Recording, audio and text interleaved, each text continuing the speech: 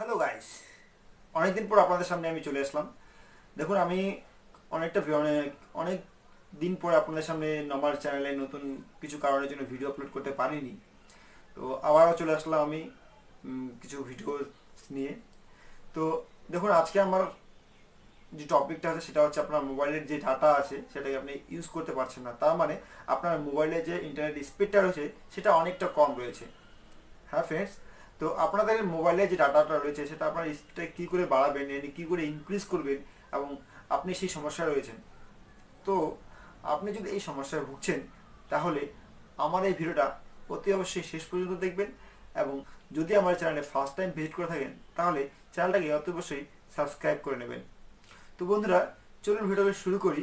শুরু করার আগে আমি আপনাদের কাছে আরেকবার রিকোয়েস্ট করছি। আমি হচ্ছি রাকেশ, আর আপনারা দেখছেন আমার channel Bangla tricks so friends please আমার ভিডিওটাকে অতি অবশ্যই দেখবেন এবং প্লিজ প্লিজ প্লিজ চ্যানেলটাকে অতি অবশ্যই সাবস্ক্রাইব করবেন। দেখুন, আপনাদের একটা সাবস্ক্রাইব আমার জন্য অনেক বড় গুরুত্বপূর্ণ। কারণ আমি আপনাদের সাবস্ক্রাইবের জন্য আমি ভিডিও তৈরি করতে অনেক উস্ফূর্ত হই।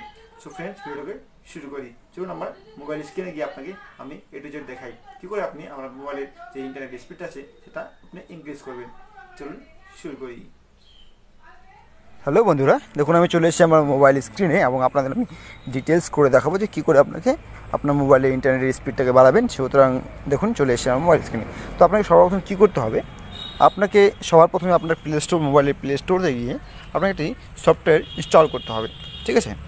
তো আপনি ইজিলি সার্চ করে নেবেন এখানে one dot one dot one দেখুন, এই ধরনের একটা সফটওয়্যার খুলে আসবে, আপনার আছে ফাস্টার অ্যান্ড সেফ ইন্টারনেট তো এই ধরনের সফটওয়্যারটা অলরেডি আপনি ইনস্টল করবেন। দেখুন, আমার কাছে অলরেডি ইনস্টলড হয়েছে, এই জন্য আমি এটাকে ইনস্টল করছি না।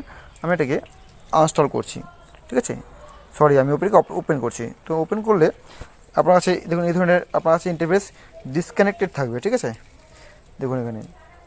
এখানে বলছে পুশ ফর ফিফটিন মিনিটস আর পুশ ফর ওয়ান আওয়ার দেখি, এটা আমার কাছে অলরেডি করা আছে বলে এটা আমি করতে পারছি না, ঠিক আছে? দেখুন, এটা হয়ে গেল। তো আপনার কাছে এই ধরনের একটা ডিসকানেক্ট করা থাকবে, আপনি কীরকম এটাকে কানেক্ট করবেন। কানেক্টিং করলে আপনার ইন্টারনেট যে মোবাইলের ইন্টারনেটটা রয়েছে, সেটা অনেক ফাস্ট চলবে। এটাকে ইনস্টল করার পরে এবং এটাকে কানেক্ট করার পরে আপনি ব্যাগ আসবেন। ব্যাগ এসে আপনার মোবাইলের যে সেটিংগুলো রয়েছে, আপনি মোবাইলের সেটিংসে যাবেন।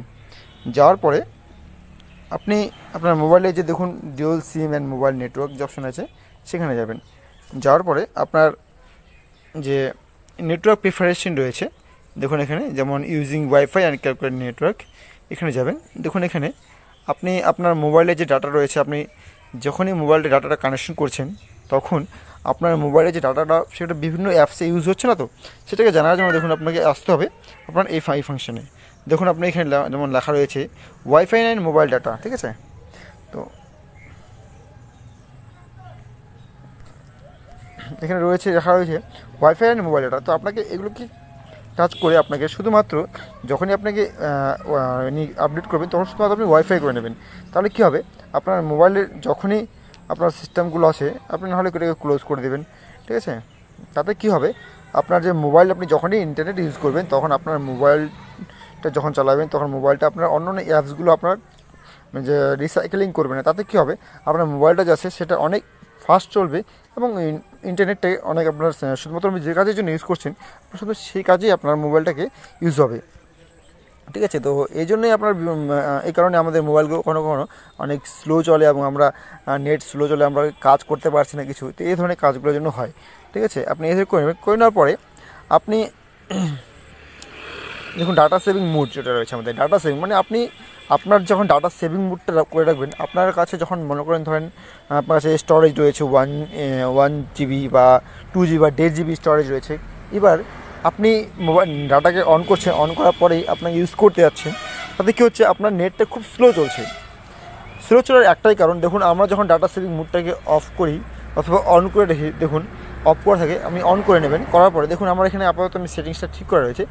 দেখুন আমার এখানে আনরেজিস্টার্ড অ্যাপস মানে আমি ছটা অ্যাপসকে পারমিশন দিয়ে রেখেছি। যখন আমি ডাটা অন করব তখন আপনার মোবাইলে যে আমার ডাটাটা রয়েছে তারা সেটাকে ইউজ করতে পারবে।